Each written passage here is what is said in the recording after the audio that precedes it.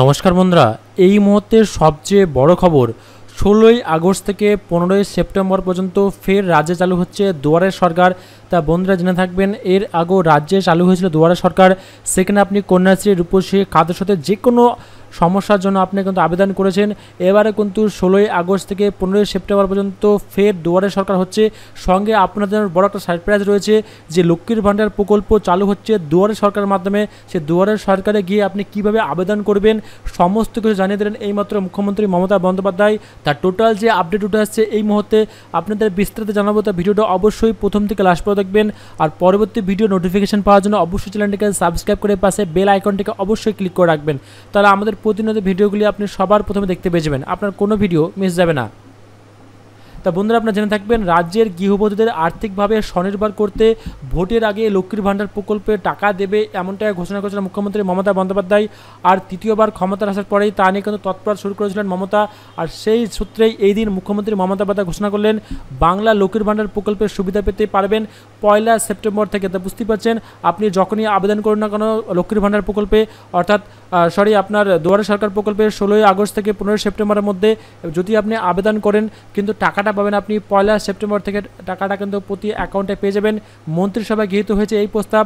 মুখ্যমন্ত্রী জানান, ষোলোই আগস্ট থেকে পনেরোই সেপ্টেম্বর পর্যন্ত চলবে দুয়ারে সরকার। এখানে দরখাস্ত নিয়ে গেলে লক্ষ্মীর ভাণ্ডার প্রকল্পের নাম নথিভুক্ত হবে। অর্থাৎ আপনাকে সেখানে দরখাস্ত নথিভুক্ত হবে যে আপনার আদা পরিবার রয়েছে এবং আপনার স্বাস্থ্যসাথী কার্ড রয়েছে এবং আপনি কিন্তু কোনো সরকারি চাকরিজীবী নন। যদি এগুলো আপনি মেনে থাকেন, তবে সে কিন্তু দরখাস্ত নিয়ে কিন্তু আপনাকে আবেদন করতে হবে। তো এই হিসেবে আপনি লক্ষ্মীর ভাণ্ডার প্রকল্প ছাড়া খাদ্যসাথী, স্বাস্থ্যসাথী, কন্যাশ্রী, রূপশ্রী সমস্ত প্রকল্পে কিন্তু নামটা নথিভুক্ত করতে পারবেন। এদের মুখ্যমন্ত্রী আরও বলেন, ষোলোই আগস্ট থেকে পনেরোই সেপ্টেম্বরে দুয়ারা সরকার হবে, সেখানে আবেদন করতে হবে। স্বাস্থ্যসাথী কার্ড সাথে নিয়ে যেতে হবে। পাশাপাশি একটা আবেদনপত্র কিন্তু নিয়ে যেতে হবে। অর্থাৎ সাদা কাগজে আপনাকে কিন্তু আবেদনপত্র নিয়ে যেতে হবে, এটাই বলা হয়েছে।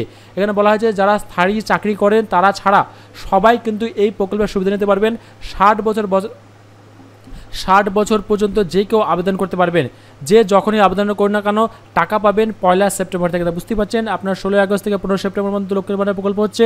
যদি আপনি ওর মধ্যে আবেদন করেন, টাকাটা কিন্তু যখনই আবেদন করেন, পয়লা সেপ্টেম্বর থেকে আপনি টাকাটা কিন্তু পেয়ে যাবেন ব্যাঙ্ক অ্যাকাউন্টে। তা পঁচিশ থেকে ষাট বছর বয়স পর্যন্ত সমস্ত মহিলা কিন্তু টাকাটা পাবেন। অর্থাৎ বাড়ির যে প্রধান মহিলা তা আজকের ঘোষণার পর স্পষ্ট প্রস্তাবিত হয়েছে, লক্ষ্মীর ভাণ্ডার প্রকল্প দ্রুত রূপায়িত হতে চলেছে রাজ্যে।